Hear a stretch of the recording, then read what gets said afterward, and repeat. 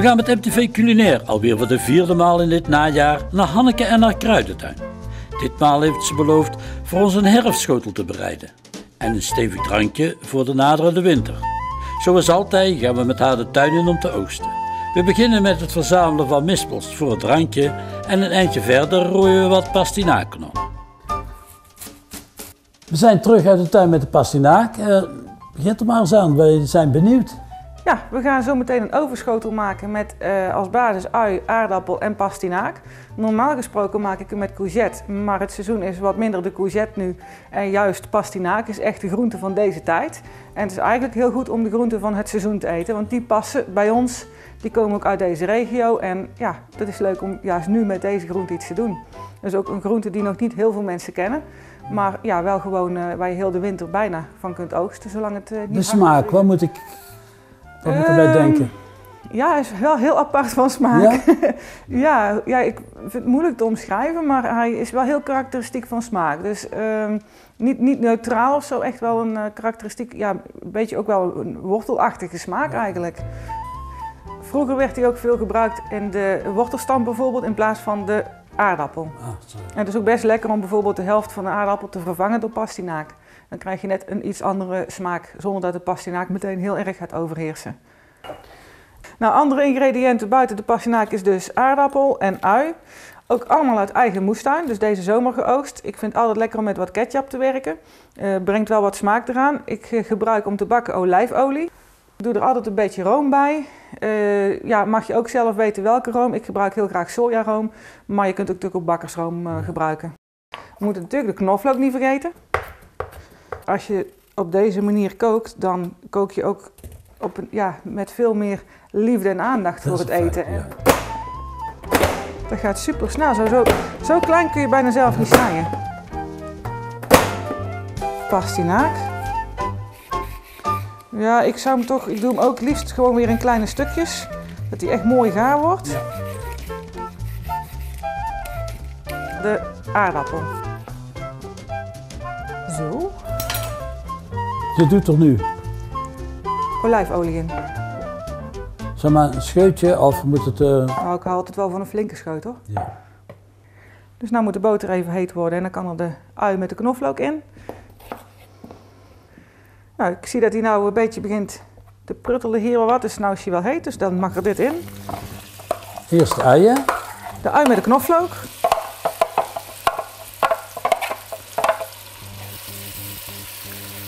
Krijg je meteen die heerlijke geur daarvan vrij. Zo'n ei moet je een beetje sudderen, moet je een beetje... Ja, die mag best even goed hard, dat die mooi glazig wordt, zoals ze dat noemen. Maar ik houd het wel mee in de gaten. En dan gaat er deze eikenkraak vrij snel al bij.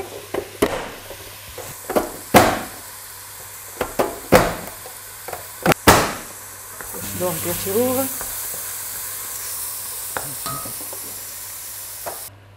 Ik ga hier nog even de bouillonblokjes bij doen. Dan kunnen die mooi al uit elkaar vallen. Ik gebruik wel bouillonblokjes zonder E-nummers. Dat vind ik zelf heel belangrijk, want in heel veel bouillonblokjes zitten dus de E621. En die is echt heel erg slecht. De pastinaak erin.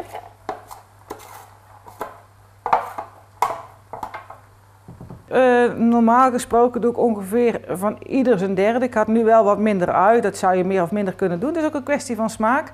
Maar dan ook de aardappels en de pastinaak ongeveer dezelfde hoeveelheid. Ja, ui vooral niet te weinig, want die is er erg lekker in. En ja, knoflook natuurlijk een beetje. En ja, op dit heb ik nu drie bouillonblokjes wat tijm en dan lekker wat ketchup. Uh, we laten hem nu eventjes wat gaar worden. En dan straks gaat er de room nog bij en dan gaat hij in de oven. Ja, hartstikke fijn. Ik ga er vast wel de room bij doen. Dat is ook weer afhankelijk van hoeveel je natuurlijk hebt. Maar het hoeft niet kleddernat te worden van de room. Dat is uh, meer gewoon voor de lekkerigheid. Dus ik hoef er echt niet heel veel in te doen. Dus even doorroeren. Nou, ik vind dat het eigenlijk wel voldoende is. Ik denk dat we hem in de ovenschalen gaan doen. Ja, hartstikke goed. Dan ga ik die klaarzetten. Gaan we er wel wat geraspte kaas overheen doen.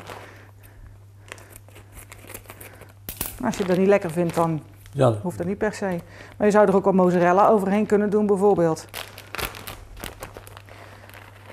is maar net wat je eigenlijk lekker vindt. Je zou er ook nog wat brie overheen kunnen doen. Je zou er wat blauwe kaas overheen kunnen doen. Wel wat aluminiumfolie eroverheen.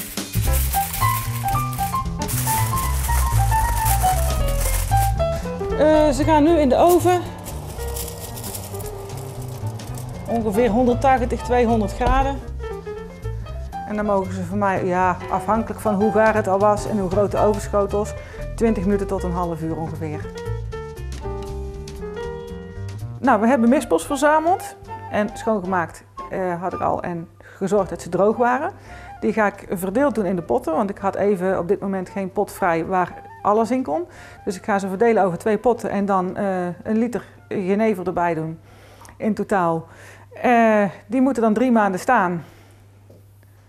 En dan hebben we daarna mispellikeur.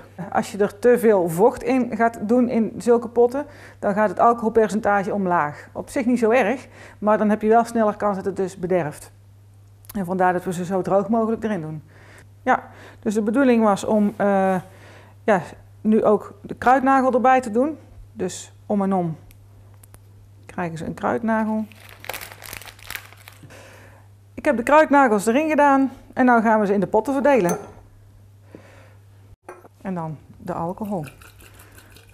Moeten zij helemaal onder de alcohol? Ja, ze moeten onder de alcohol, anders heb je kans op schimmel of rotting. Ja, door de alcohol, uh, die trekt eigenlijk alle stoffen uit de ja, planten eigenlijk die in de alcohol gedaan zijn. Dus die stoffen komen vrij. Ja, dat heeft bij deze zeker heel veel tijd nodig, omdat het natuurlijk nog een volledige vrucht is. Um, hoe langer dat die blijft staan, eigenlijk hoe meer dat de, ja, de stoffen en de smaak van de mispel en de kruidnagel in de alcohol gaan zitten. Ja. Hij zal op een gegeven moment ook echt gaan verkleuren.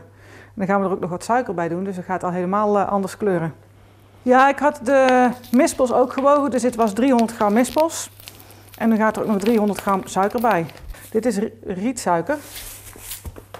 Uh, rietsuiker dat is minder slechte suiker dan de gewone geraffineerde suikers. Dus nu gaan we de suiker ook verdelen. Moet ik eigenlijk zorgen dat ik in iedere pot nu 150 gram heb.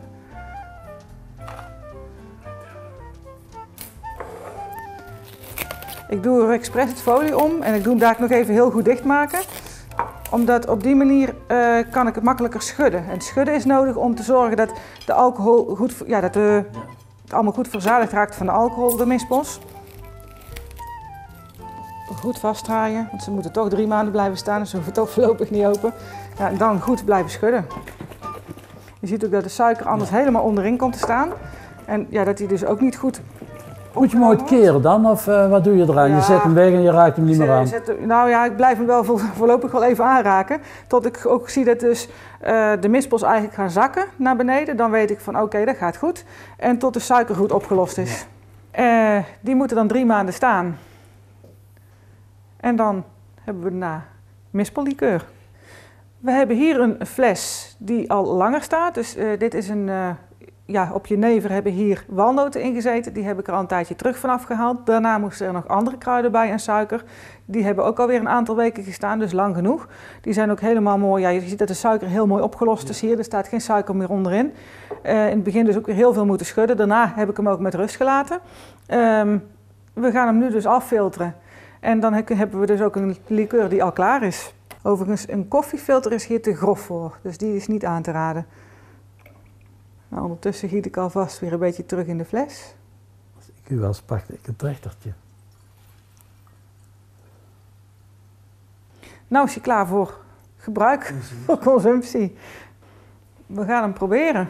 Ja, hartstikke fijn.